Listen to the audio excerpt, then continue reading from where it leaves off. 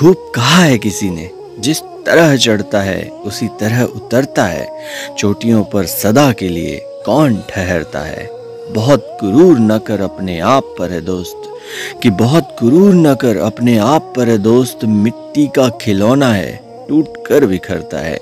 हर हाल में खुश रहो, बस ये सोचकर कि हर हाल में खुश रहो, बस ये सोचकर कि वक्त जैसा भी हो, एक रोज गुजरता है।